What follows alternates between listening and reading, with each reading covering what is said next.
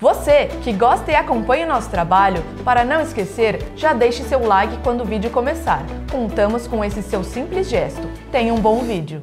Quando criança, Kristen Green tornou-se obcecada por contos de fadas. Frequentemente, ela fantasiava em se tornar uma princesa quando crescesse. Com o tempo, seus objetivos mudaram, mas Kristen ainda sonhava com um casamento de conto de fadas, completo, com seu próprio príncipe encantado. Já adulta, ela encontrou seu príncipe em Chris Howe e, após três anos de namoro, o feliz casal ficou noivo. Antes que eles percebessem, o dia da cerimônia chegou. No entanto, não saiu como planejado. Kristen não tinha ideia de que seu pai, Bob, também sonhava com seu casamento desde seus dias de menina. Então, após o anúncio do noivado, ele começou a planejar a maior surpresa do casamento, sem contar a ninguém, nem mesmo ao futuro marido de sua filha. Em breve, o pai da noiva surpreenderia a todos com seu convidado que não havia sido chamado para a cerimônia. Como a maioria das meninas, Kristen era fanática por contos de fadas e filmes da Disney.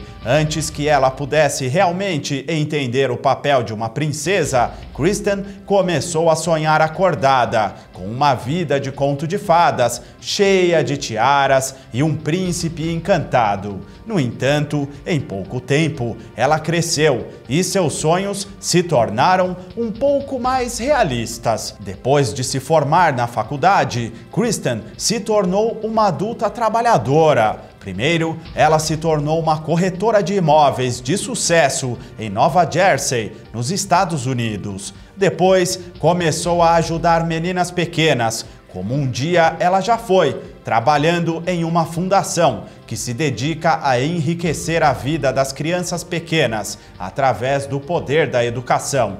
Ainda assim, mesmo depois de crescer, ela nunca parou de procurar o parceiro perfeito. Além disso, embora Kristen tivesse alcançado o sucesso em uma idade jovem, ela ainda estava procurando o homem certo para compartilhar com ela o resto de sua vida. Então, em uma noite de inverno, o Cupido jogou suas flechas e reuniu duas pessoas incríveis. Quando Kristen conheceu Chris Howe através de um amigo, faíscas voaram imediatamente. Além disso, ela poderia dizer que, embora Chris parecesse um pouco mais pé no chão do que um príncipe de um conto de fadas, ele ainda a amaria e apreciaria. Em seu primeiro encontro, Christie e Chris conversaram por horas. O tempo voou. Eles conversaram sobre suas famílias, onde cresceram e o que queriam da vida. Para sua surpresa, os dois tinham históricos muito semelhantes e, embora tivessem terminado em carreiras diferentes, compartilhavam muitos interesses e valores comuns. Quanto mais os dois se conheciam, mais percebiam que se encaixavam perfeitamente, como duas peças de um quebra-cabeça. Ainda assim, nenhum dos dois poderia prever aonde essa estrada os levaria. Em pouco tempo, os pombinhos tornaram-se oficialmente um casal. Juntos, eles viajaram para novos lugares, experimentando atividades que nunca haviam feito antes. O casal também estabeleceu uma vida em sua cidade natal, conhecendo a família um do outro e indo morar juntos. Não demorou muito para perceber que queriam ficar para sempre juntos. Logo, meses se transformaram em anos e o casal ainda estava firme e forte. Felizmente, durante o tempo que passaram juntos, Chris também conquistou o coração de Bob, o pai de Kristen, depois de quase três anos de namoro, o jovem sentou-se com o sogro para discutir o seu futuro com Kristen.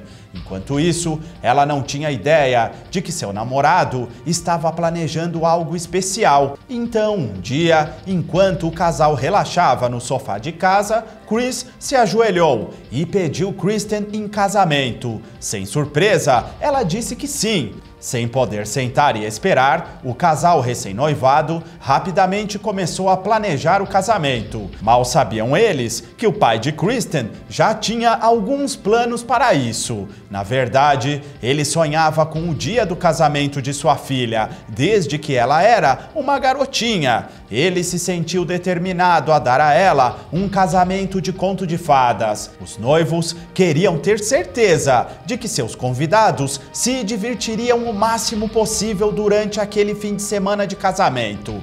Portanto, os dois não apenas marcaram um casamento e uma recepção, eles também organizaram uma festa fantástica para a noite anterior e um brunch na manhã seguinte. O casal também convidou os hóspedes a ficarem no hotel durante todo o fim de semana. Imagine o tanto que eles gastaram, como se fossem miniférias. Antes que Kristen e Chris percebessem, o fim de semana de seu casamento chegou.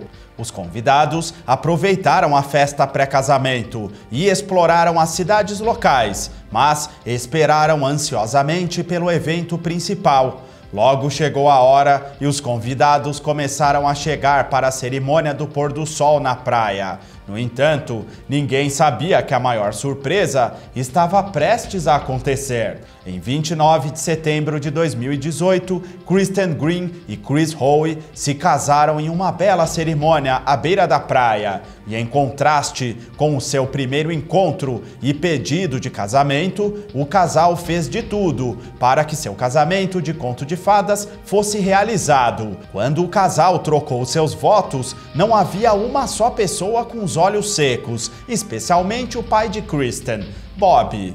Depois de tantos anos, ele se sentiu incrivelmente feliz ao ver sua filha conseguir o casamento de conto de fadas que ela sempre quis. Como tal, Bob mal podia esperar para seu presente de casamento à filha. Ele sabia que o casamento precisava de um pouco mais de magia de conto de fadas, mesmo quando garotinha, Kristen e seu pai compartilhavam um vínculo incrivelmente especial. Ele nunca se esforçou para acompanhar as festas, bonecos e musicais temáticos de princesas. Ao contrário de muitos pais, Bob realmente amava assistir a filmes da Disney com a filha. Bob era o mesmo que quase todos os pais, ele só queria o melhor para sua filha. Então, mesmo quando a filha era uma garotinha, Bob começou a planejar o presente perfeito para o seu dia especial. Eis que havia chegado a hora de Bob revelar a sua surpresa. Após a cerimônia, todos foram para o salão de baile para a recepção. Após alguns drinks, todos os convidados se sentaram e começaram os discursos. Quando chegou a hora de Bob falar, ele parou um momento para se colocar atrás de uma tela. De repente, Bob apareceu usando o que parecia ser um par de luvas grandes do Mickey Mouse. A noiva e o noivo pareciam bastante chocados. Nenhum dos dois estava esperando essa mudança nos acontecimentos. Afinal, por mais divertidas que parecessem as luvas, elas não combinavam com o tom elegante da recepção do casamento. Por que Bob colocou essas mãos de Mickey Mouse? os recém-casados começaram a se perguntar o que deu em Bob para colocar as luvas de Mickey Mouse.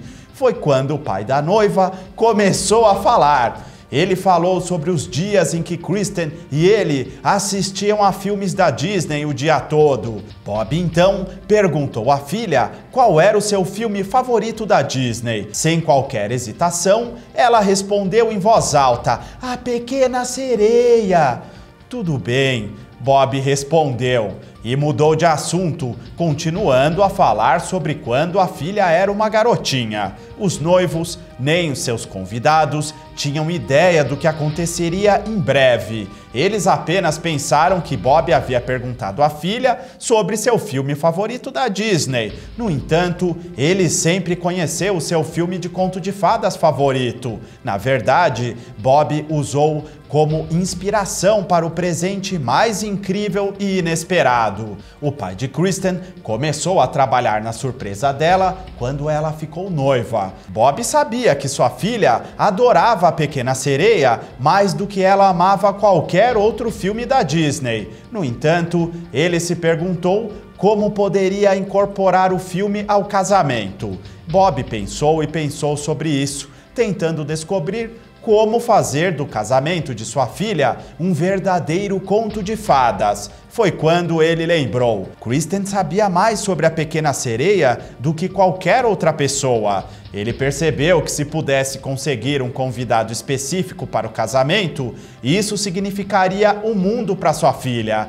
Então, Bob foi até o seu computador e enviou um e-mail, esperando que encontrasse o caminho para os olhos certos. Voltando à cerimônia, Bob continuava a falar sobre sua filha, até que ele saiu do palco e desapareceu de vista. A noiva e o noivo começaram a se mexer na cadeira e esticar o pescoço, perguntando-se para onde Bob tinha ido. Parecia que ele tinha acabado de sair da recepção.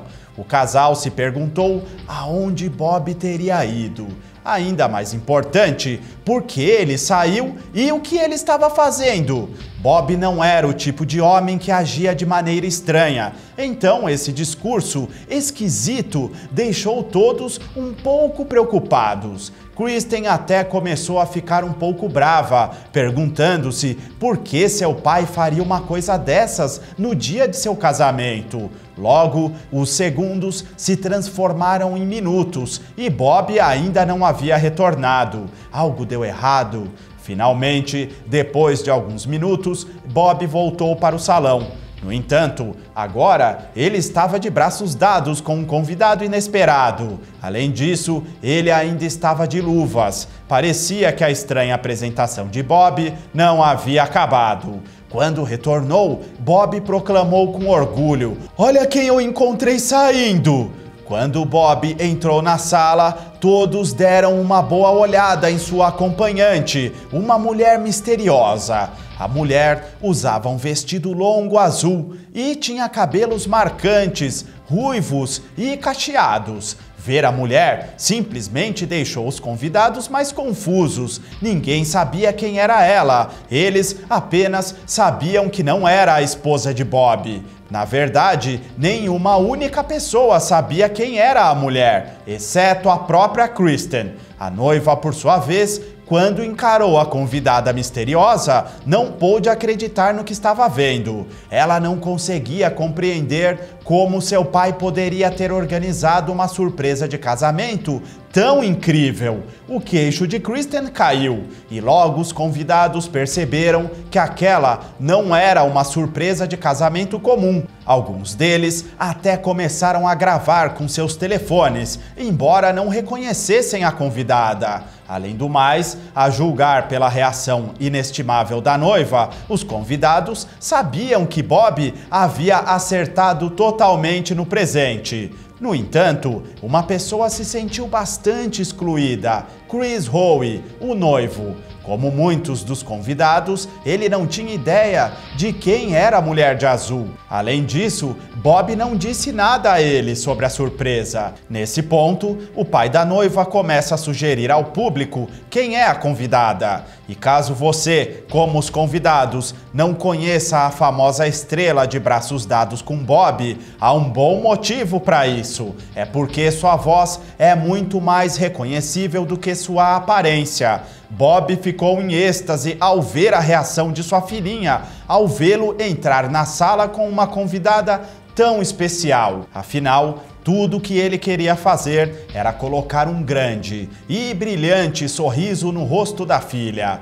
Depois de uma pequena provocação, finalmente chegou a hora de o pai de Kristen apresentar o convidado de honra. Sempre brincalhão, Bob contou uma última piada, dizendo que encontrou a mulher à beira-mar. Nesse ponto, o queixo de Chris também caiu. Ele finalmente descobriu. Com isso, Bob deixou todos saberem da surpresa. Então, para quem não sabe, Jodie Benson é a voz de Ariel de A Pequena Sereia. Bob revelou, dando à convidada surpresa uma apresentação adequada. Nesse ponto, o público ficou animado e aplaudiu descontroladamente. Ainda assim, mesmo depois de ouvir as palavras de seu pai e ver Jodie parada bem na frente dela, Kristen não podia acreditar em seus olhos. Jodie Benson, para quem não sabe, é uma famosa dubladora. Depois de fornecer a voz de Ariel em A Pequena Sereia, ela continuou fazendo a voz da personagem em todas as sequências, videogame e até mesmo o spin-off da série de televisão. Completamente surpresa, a noiva continuou a olhar para Joe de boquiaberta. Porém, depois de um momento, ela se levantou e deu as boas-vindas com um grande abraço caloroso. O fato de que seu personagem favorito de todos os tempos estava na frente dela encheu Kristen de pura alegria. Enquanto isso, Chris e os convidados não sentiam nada além de felicidade por Kristen. Poucos conseguem ver os sonhos de infância de alguém se tornando realidade. Mesmo assim, a surpresa ainda estava longe de acabar, como todos logo ficariam sabendo. Após a grande introdução, Bob revelou mais uma incrível surpresa. Ela está aqui para cantar para você, disse ele. Os olhos de Kristen se encheram de lágrimas.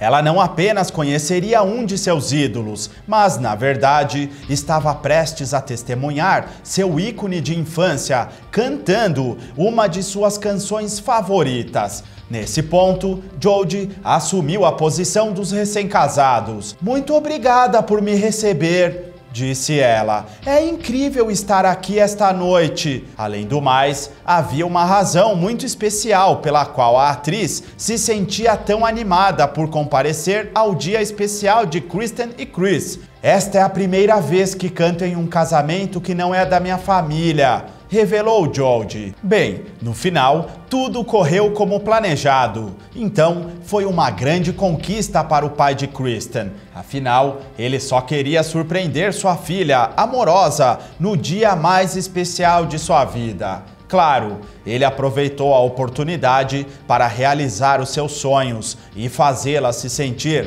como se estivesse em um verdadeiro conto de fadas. Felizmente, Kristen foi capaz de encontrar o seu príncipe encantado, e o fato de Jodie Benson estar em seu casamento real foi uma grande vantagem. O casamento e a surpresa foram capturados profissionalmente por uma equipe de cinegrafistas. No entanto, o casal não tinha ideia de que o vídeo se tornaria viral. Pouco depois do casamento, a empresa responsável pela filmagem postou o vídeo nas redes sociais. Para surpresa de todos, tornou-se viral em apenas alguns dias. Hoje, a filmagem tem mais de 17 milhões de visualizações e continua aumentando. Quem não ama um bom romance de conto de fadas, hein? Mesmo depois de todos esses anos, Bob conseguiu criar um momento extraordinário e um presente para sua filha, que durará por toda a vida. E mais importante, ele espera que isso dê a Kristen